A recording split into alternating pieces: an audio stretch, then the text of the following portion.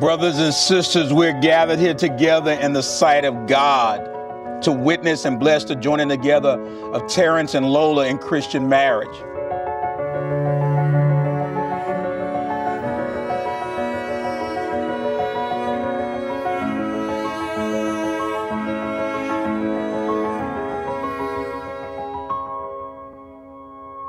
The marriage between these two people unites their families and creates a new one. They ask each of you for your blessing.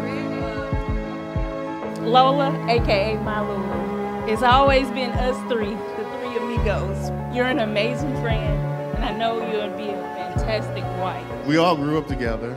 I know Terrance since middle school.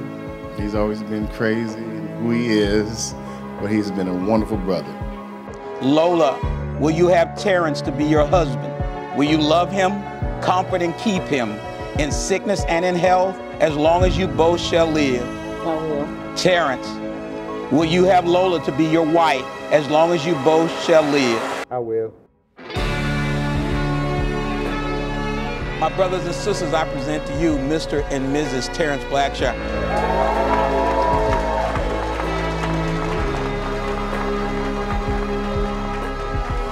Terrance and Lola, you come together to form something that only God can create. A love between a man and a woman who give themselves to each other for life.